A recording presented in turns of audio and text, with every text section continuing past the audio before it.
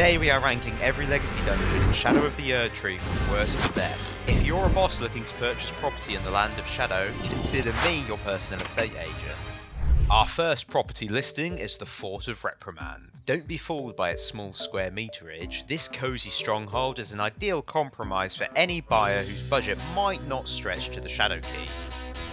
The Fort of Reprimand may not have the scope of other legacy dungeons, but it is densely packed, with secret paths to loot carefully hidden in plain sight, such as the Flamedrake talisman being visible from the lower floor, encouraging you to find your way over the cages to reach it. The conveniently placed corpse hole provides easy access to the basement. Whether it's landscaping tools or Hornsent bodies, the fort has all your storage needs covered. I don't know why this sicko is chilling down here. What are you doing? Nothing. Me? Just hanging around. Although the enemy variety here is lacking with recycled foot soldiers and omen killers, Black Knight Edred is a fun boss and the Crucible Wings are a flashy Ash of War to get your hands on. But the location's clincher must be its easy access from Gravesite Plain to Scadu Altus, allowing you to bypass Castle Ensis. An absolute dream for repeat playthroughs, making additional items and Scadutree fragments accessible without having to fight Rellana. If there's one thing I love, it's a gaping hole. That's why your mum and I get on so well. This guy stinks! Although, the Stone Coffin Fissure is barely worth mentioning, boys. The location is carried by its visual spectacle and how ominous it feels as you descend to the bottom of the pit, which is spoiled by the most random selection of enemies in the DLC. Why is Leonine Misbegotten here? The only interesting encounters are the sniper worms that force you to use cover or get good at dodging, and the level design is a straight path to the end of the dungeon. It's a shame because St. Trina deserves a better location leading up to her. Don't get me wrong, it's not offensive, the area just feels very flat from a gameplay perspective. Castle Ensis is the only legacy dungeon that needs an overhaul to reflect the quality of the boss it houses. There's a distinct lack of presentation here that's otherwise seen throughout the rest of the DLC. The Carian themed fort needs its own identity as it pulls many assets from Caria Manor and Raya Lucaria, but rather than take inspiration from these areas, it's a poor imitation. You've heard of Moongrum Carian Knight, now get ready for Moonrathal of the Boreal Valley. Miyazaki really pulled the goad for you over our eyes with this one, eh?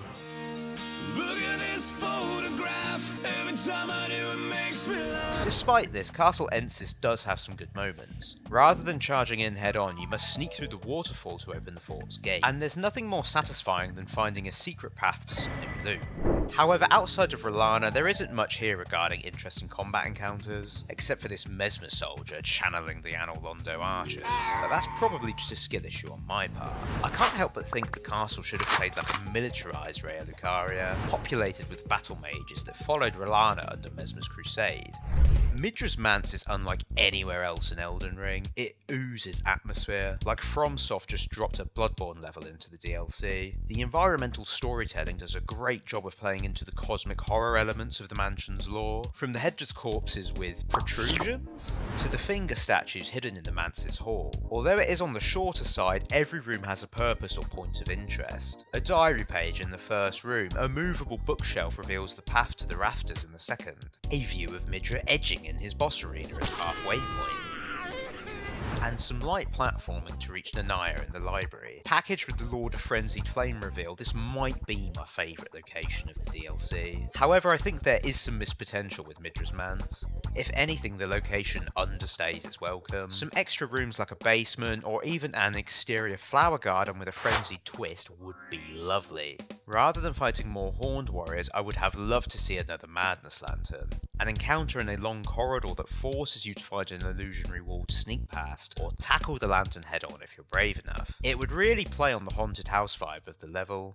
Enir-Ilim is the legacy dungeon I'm most conflicted about. The highlight of the area for me was discovering the secret path to Euphoria and realizing the city connects back to Belurat. Is there any other random fucking nouns that we want to like chuck into this one, eh? However, this is the only instance of the level design branching from a linear path. I find this frustrating because the city is practically screaming to have diverging zones. There's so much going on here that could be explored. Although mystical at first glance, the city becomes horrifying when you realize it is likely built upon shaman bodies. The juxtaposition of this being above Belurat gives you a glimpse of what the Hornsent were like at the peak of their power. Hashtag Messmer did nothing wrong, the crusade was justified.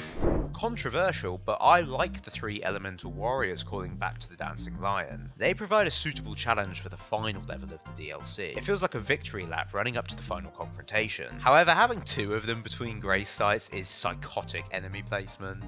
Belurat nails the feeling of progression as you battle your way through the different layers of the city. From spider scorpions in the crypt to shadow men in the city streets and horned warriors patrolling the upper level.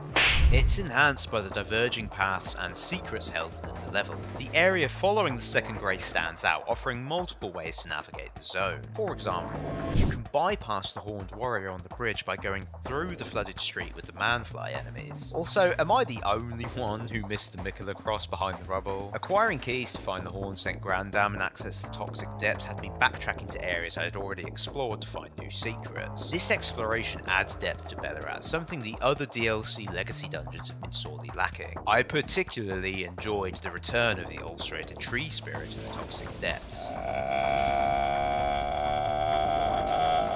If you saw my boss ranking video, you'll know I'm not the biggest fan of the Dancing Lion, but his presentation and how he ties the whole level together is undeniable. And seeing Enir-Ilim veiled in shadow also gives you a goal to work towards in the DLC, and an idea where you'll end up later on.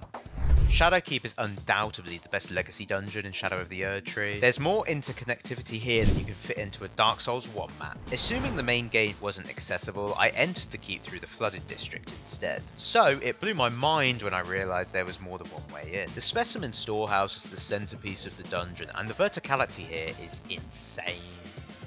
I can see myself discovering something new every time I play through it. It kind of functions as a hub zone, not only do several NPC quests take place here, but it also acts as a pathway to many late game areas. The gesture locked door to the Hinterland, drain the flooded district, the coffin that sets you on the base of this avatar. Will I ever make sense of this jumble? The Fire Knights are exclusive to this area and make for tough as nails enemies to battle. I felt a sense of adrenaline every time I had to deal with one, as they do not mess about. The unique variants scattered throughout the level make the dungeon feel alive, giving you lore on Messmer's followers. They're a part of the world rather than just fodder, and the environmental storytelling is on point. The Jar Hospital was particularly unsettling, but becomes somber when you realise Messmer was trying to help the shamans trapped inside. Shadowkeep blends the freedom of player choice present in the open world of Elden Ring with the interconnected world of Dark Souls, making it the pinnacle of Elden Ring's level design. I want to know what your favourite legacy dungeon is in the comments, and who you think would win in a fight between Gavlan and Sir Moore. Take it easy, and I'll see you on the next one.